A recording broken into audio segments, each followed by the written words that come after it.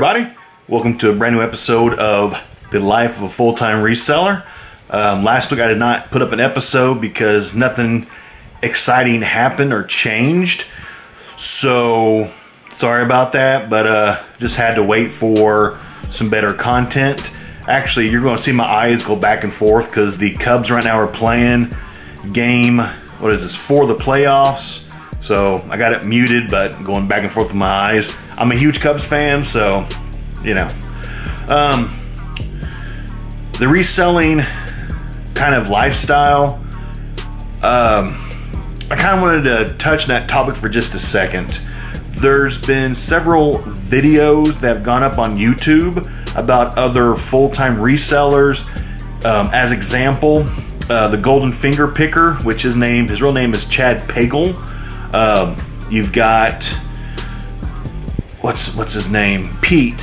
Um, Pete, the Craigslist Hunter, is his like synonym name.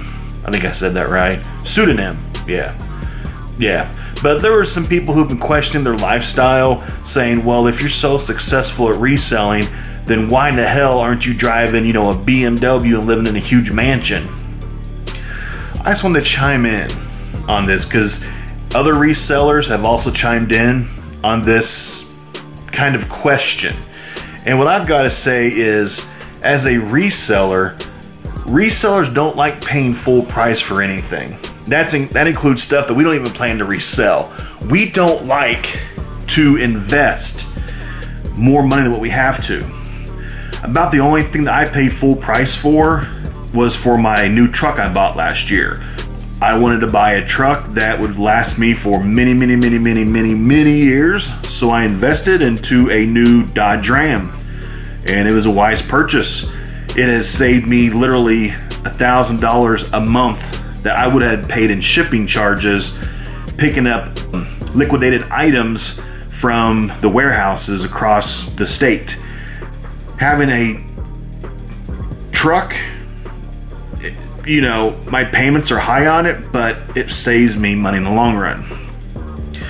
But some people who do resell, they actually do make quite a bit of money. Like most resellers don't want to talk about how much we actually make a year, but um, in order to do this lifestyle, we have to make a pretty good amount of money in order to do this. So but most of us are actually kind of cheap when it comes to pampering ourselves. I, eh, I am in a way, in other ways, I'm not. Things that I collect, like guns, sneakers, autographs, I pamper myself. But in terms of clothing, I buy my clothes off the clearance racks or I wait till they go on sale online, pick them up. And my wife's the same way. Sheila doesn't collect anything, and most of her clothes are from clearance racks. And uh, if you looked at us like in person, you would think that me and her were probably just, eh, you know, just scraping by. But lifestyle doesn't equal happiness. We could have a huge mansion, you know, probably each have our own vehicle plus like a weekend fun little like brand new Dodge Challenger and she could have the Louis Vuitton bags and all that crap. We would look like a million bucks if we did that, but would we actually be happy? No, because we're just not that way. So, as a lifestyle of a reseller, most of us are pretty humble when it comes to appearance. You know, so just because we don't live in mansions doesn't mean we're not successful as a full time reseller. It just means that we're frugal with our money. We like to make money, not spend money, if that makes any sense. But anyway, but hey, I just wanted to give you another live look at a unboxing of uh, some liquidated stuff. Cubs games back on the commercials over. You're gonna see my eyes going back and forth. But um, I'm gonna set this bad boy down for a minute and show you. Let's, I haven't done this, only did this one week so far. And I say, no, let me do this one more time let me show you a live unboxing of a liquidated product. I think this is electronics, but it might be home goods. I can't remember. And it is home goods. Uh, yeah, this box isn't totally like packed out full or anything. But uh, look at this box. You know, I pull this thing out. Ah, everything's falling. Pull this thing out. Excellent. Okay, that's broken. You can hear it. Hear the pieces. So I'm gonna go ahead and say that is probably going to be trash. I'll take it out later and see if I can glue some pieces back together, but that's probably gonna be trash. Something like this, a little cooler that you can put next to your desk, whatever. Travel cooler, uh, probably about 20, 25 bucks. Not a bad little thing to get in a liquidation. These kind of gimmicky things people like to buy. And then we got a doorway sit-up bar. Another kind of a gimmicky thing. Brand is called Cap. This I will check Amazon, but this will probably go for about 10, 15 bucks. A doorway sit-up bar. Yeah, that's that's it's pretty gimmicky. But you know what? It sells. Liquidation box. We've got stainless steel. And that sounds broken too. Not everything you get in liquidation is sellable. I got a feeling whatever this is, it's also broken. Let me give you a little look. The other thing that, uh, first thing I pulled out, that is glass, so I didn't want to pull it out live on camera. This case, there's glass that comes out. Actually, no, it's not broken. It's just loose in the box. So that is actually, look at that. That is brand new. Still factory sealed, and it went to liquidation. And I will do a live camera kind of a, a look-see. Let me get into my Amazon Sellers app, and I'll kind of show what's going on. There's the Amazon Sellers app starting up. Let me hit scan product.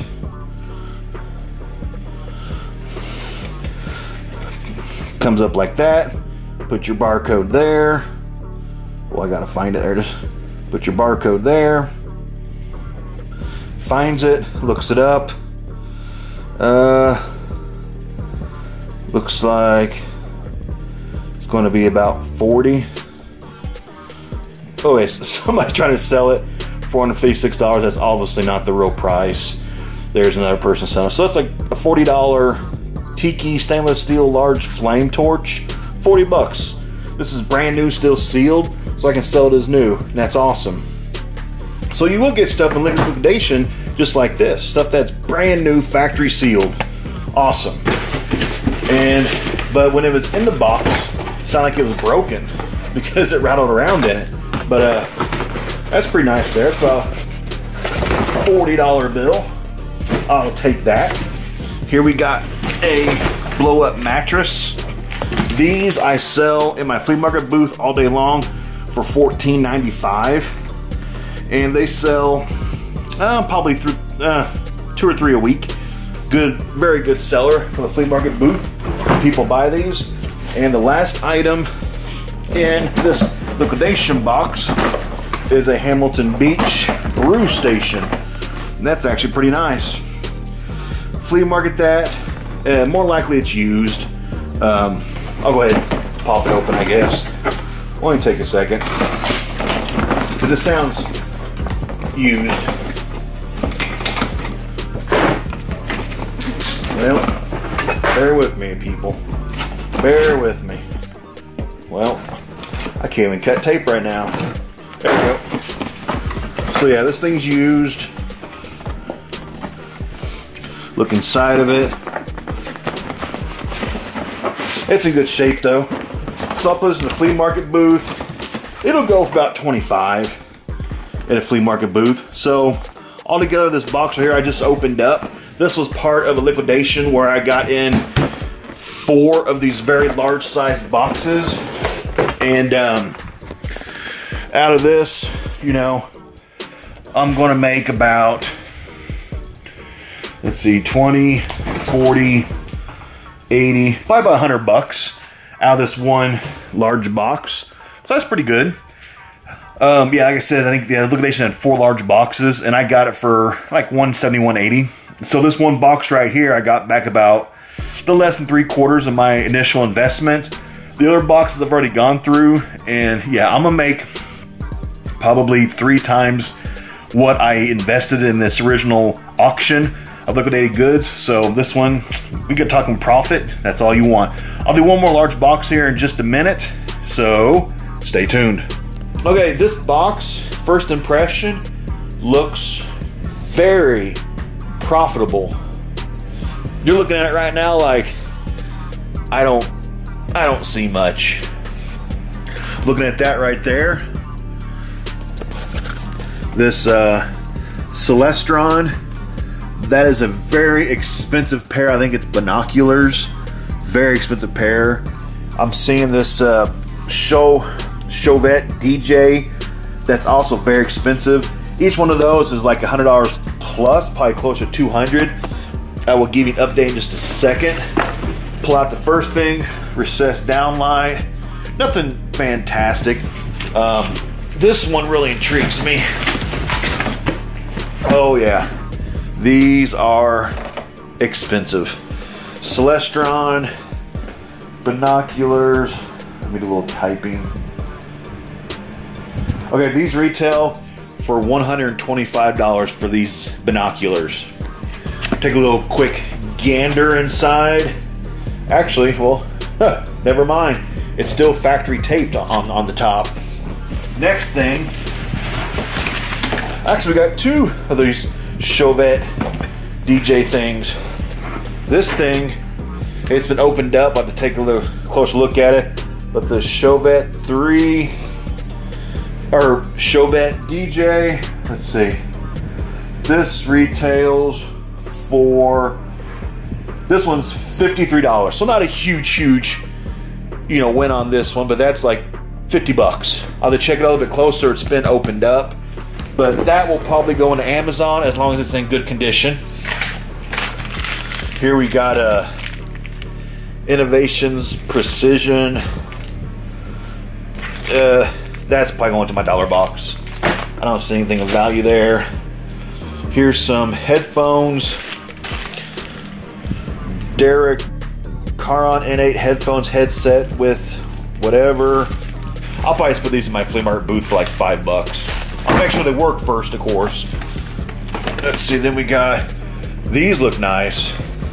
Behringer HPS 3000 high performance studio headphones. Oh, these are only like 20 bucks. Never mind. I thought they'd be more than that. I'll probably flea market these. I'll probably put this full price about 20 bucks. Here is the other, oh, this thing's heavy. The Chauvet DJ equipment that I know is, isn't cheap. The Chauvet Scorpion. And this thing retails at $149. So I'll check to make sure it's got the remote, make sure it's in working order. And if it is, it'll go into Amazon for at least 100 bucks used. So, so far this box, we're talking, it's probably about $300 box at least right now. Excellent, excellent box. Uh, it says TV antenna. Up I go into my dollar box. It's junk. We got a Galaxy S6 Edge case. I might check eBay prices on this. If not, probably my dollar box, my flea market booth. Here we got mini green arrow scarf DSLR game. I have no idea what that is. I'm going to research that a little bit more. No idea what that is. But uh, here we got a standing light. Flea market booth, probably 15 bucks. As long as it's in good working order, it's not damaged or anything. Gotta adjust this box. Here we go. Let's see. Tozo LED desk lamp, eye carrying. Uh, probably another $10. Just a little lamp. Our biggie stuff I pulled out first. Black 4 reading lamp, another reading lamp, another $10, $15. Nothing huge. But I'll make sure it's it's good working order. The last, most of these lamps, I'll put into my flea market booth. Oops. And another lamp, like I said, 15, 20 bucks, maybe. Um,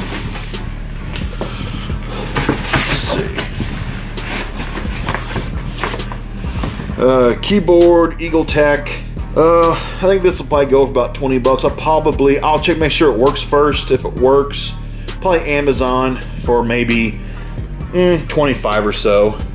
It's, it's an okay brand. It's not the best, but it's an okay brand. Eagle Tech.